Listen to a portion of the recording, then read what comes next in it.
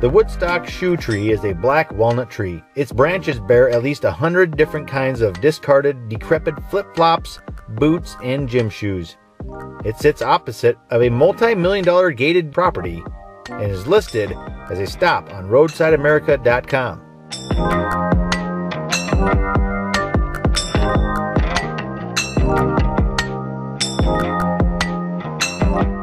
Wow, this is actually kind of a cool spot. It's the ultimate anti-CITO, if I ever saw one, where we actually encourage people to throw shoes on this tree and we place the cache here. ah, nice shot.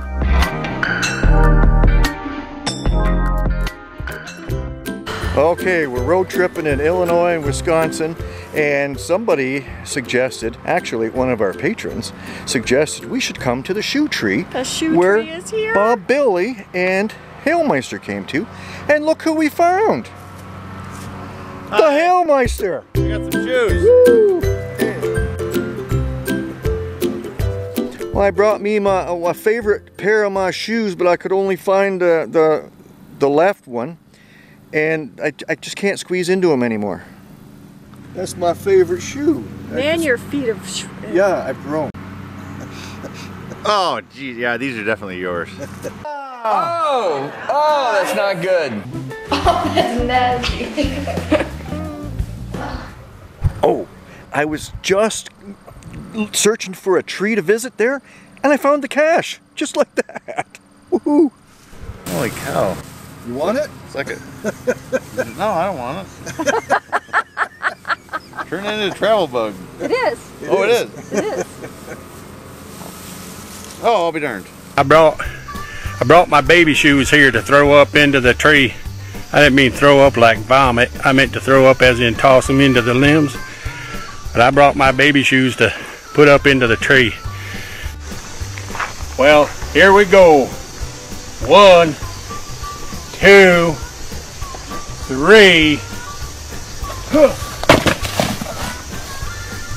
Well, that's all the farther I can throw. Found Bob Billy's baby shoes. Maybe we can get him in the tree for him because he didn't have a very good throw. Kind of missed.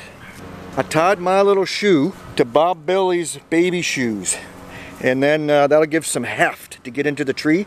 It'll help us both. I'll get my little shoe up there and Bob Billy's baby shoes and maybe I can make contact. All right, ready? One holy two holies, three holy doodles. Oh, just as good as Bob Billy. Dang it all. Okay. One Mississippi, two Mississippis, three Mississippis. I'm just as good as Bob Billy. Oh, come on. Perfect.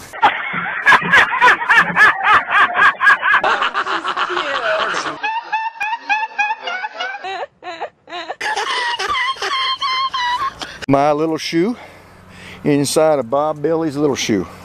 It's in a tree, not the big one, little one nearby. Good enough.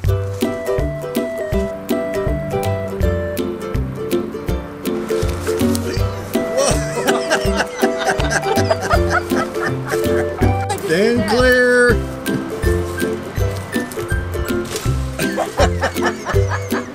well, they're in the bush.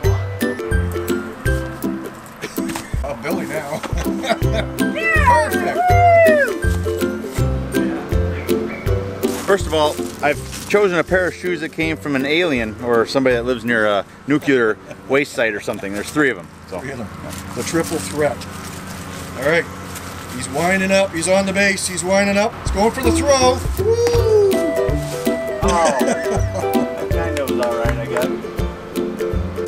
Yeah, we can't forget to get the cache. Come all this way just to throw shoes? No, we got to get the cache. Well, that was a pretty cool cache. We're glad we came to that. We're glad you invited us that out. That was a lot of fun. Yeah, yeah, it was pretty cool. Um, when did you get this cache? Um, I got it probably about five, six years ago. Six years ago? Wow, it's been here quite a while. And it's going to get another two favorite points? Oh, yeah. Let's pull that down. Ready? Wow, Ding. that was cool. Good, there you go, favorite points. And I think it's time to go caching. Yeah. All right, you talked me into it. We're right here, that's what we do, right? anyway, thanks for joining us, and... Keep watching, there's more caches to be found. Don't forget to like... Share. And? Subscribe. There you go. And ring the also, bell. Also, don't forget, yeah, ring the bell, but subscribe to the Halemeister too. Oh, thank you. Know, you. And not just Cache Canada. Anyway, where will geocaching take you? This cache is good for the soul.